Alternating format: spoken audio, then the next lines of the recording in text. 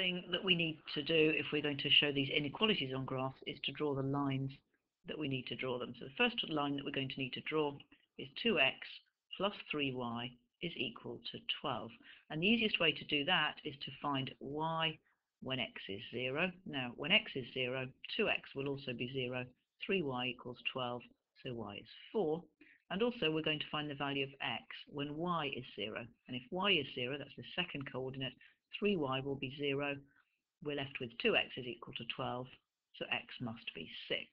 Now if you plot those on the graph, we've got 0, 4, which is here, and we've got 6, 0, which is here, and I'm just going to join those with a straight line. Here we go, from there to there. Okay, so that is the line that where um, 2x plus 3y is equal to 12. Now, to make the inequality, we want the side of the line where 2x plus 3y is less than or equal to 12. So this is the side we want. So I'm going to shade out the opposite side of the line. So I'm going to shade all of this. We don't want any of this region over here. Okay, let's just get rid of that. Okay, second line that we're going to draw is going to be 2x plus y is equal to 8. So 2x plus y is equal to 8. We'll use the same method. So when x is 0, well, if x is 0, this is 0, so y is going to be 8. And if y is equal to 0, this has disappeared, 2x is 8, so x is 4. So this second line then goes through 0, 8, which is here, and 4, 0, which is here. And if I just draw that straight line, okay, so joining from there to there. Now again, the side of the line that we need is where 2x plus y is less than or equal to 8. So we want this side of the line. So I'm going to so we want this side of the line. So I'm going to shade out. Let's use a different color. So I'm going to shade out this side. We don't need any of this side of the line. Okay. And the last two inequalities, y greater than or equal to 0, well, the x-axis is just the same as y equals 0. And if we want y to be greater than 0, we want the part above the line. And in the same way, we've got x is greater than or equal to 0. So the y-axis is where x is equal to 0. So we could shade out this side of the y-axis, which leaves me this is my feasible region.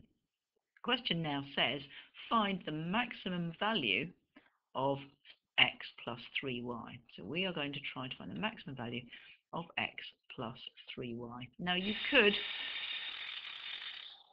guess which corner of the graph this actually means, but the easiest way is to draw a line, and the easiest way to do that is to draw a line which is parallel to our maximizing line, and I'm going to choose a number that 1 and 3 both go into, so let's use 6.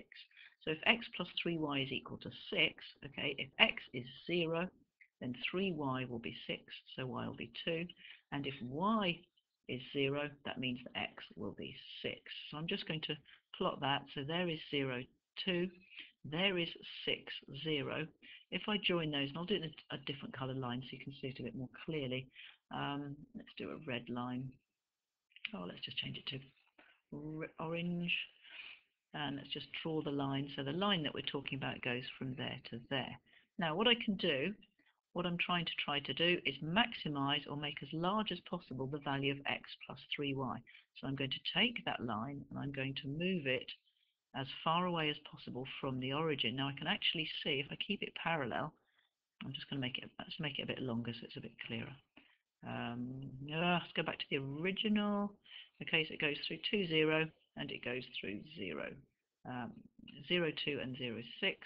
If I move it around, okay, you can see that the furthest that I can get away from the origin, it's not actually there, it's here, at this point here. So this is the furthest I can get from the origin with a line which remains parallel to x plus 3y is equal to 6, takes me up to that corner, so up to here.